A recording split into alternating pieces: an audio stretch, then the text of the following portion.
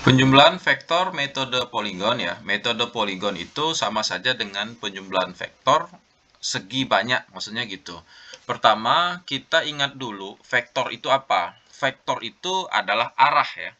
Vektor adalah arah yang disimbolkan ya atau yang digambarkan dengan tanda panah. Ini tanda panah ini menyatakan vektor ya. Kalau ini B di atasnya ada tanda panah, ini dibaca vektor B. Yang ini ya, ini kalau ini kita baca A ya, ini vektor A. Yang ini R namanya vektor resultan. Dalam metode poligon ya, dalam menentukan resultan vektor itu bisa kita lihat di sini yang pertama ya, ini vektor resultan sama dengan vektor A ditambah vektor B ditambah vektor C. Karena vektor A yang duluan dituliskan berarti ini vektor A duluan. Vektor A ya, arahnya ke atas. Kemudian ujung vektor A ini ketemu dengan pangkal vektor B. Karena kita ingat kembali bahwa vektor itu terdiri dari pangkal dan ujung vektor. Nah, pangkal vektor B ini ya arahnya ke kanan, ujungnya bertemu dengan pangkal vektor C yang ini. Ya, sehingga untuk menggambarkan vektor resultan, ya ini pangkal ketemu pangkal, ujung ketemu ujung.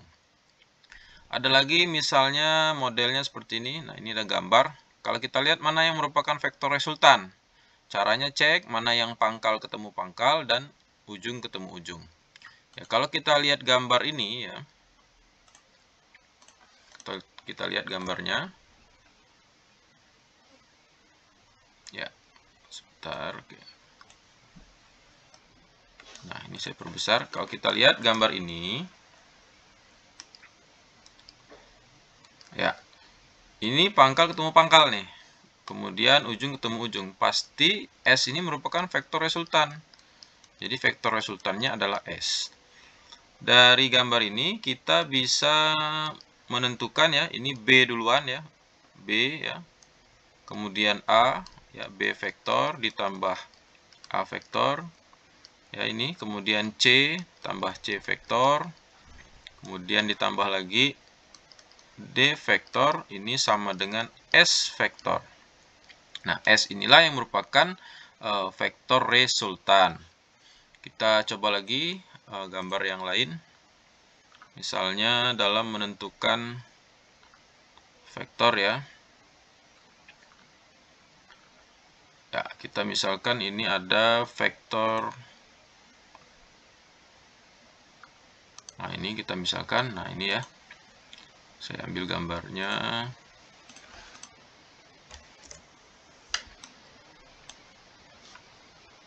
Ya ini ada vektor ya. Nah kalau kita lihat gambar ini ya ini ada vektor A. Nah ini vektor A. Kemudian ada vektor A. Terus vektor B ya negatif B. Kemudian ada vektor C vektor C. Nah, inilah sama dengan vektor D ya, di mana vektor D ini merupakan vektor resultan. Jadi vektor resultannya sama dengan A minus B plus C vektor ya. Misalnya lagi kalau kita mau buat suatu vektor, misalnya vektor F itu dituliskan sebagai B minus A ya, kemudian plus C. Nah, misalnya gitu. Jadi yang duluan adalah vektor B dulu. B-nya ke atas. Kita buat vektor garisnya ke atas ya. Ini vektor B. Kemudian vektor A kan ke kanan. Maka kita punya vektor negatif A ya ke sana. Nah, ini negatif A. Kemudian ditambah lagi vektor C. Nah, vektor C tambah lagi ke sana berarti. Ini vektor maaf, maaf vektornya C-nya ke kanan, berarti ada vektor C lagi yang arahnya ke kanan. Nah, misalnya ini. Sehingga resultannya dari titik B ya ke titik ini ya, ke titik C. Nah, ini.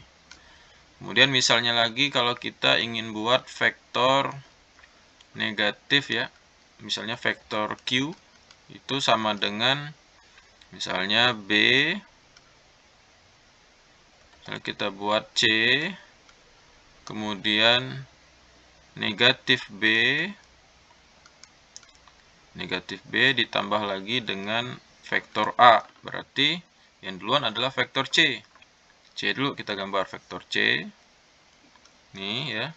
Karena vektor B ke atas, kita rubah ya negatif B. Kemudian ada lagi vektor A. Vektor A-nya juga ke sana ya. Ini vektor A. Maka resultannya yang merupakan vektor Q tadi ya, dari sini dari pangkal bisa kita tarik ketemu di ujung vektor A. Inilah vektor Q-nya.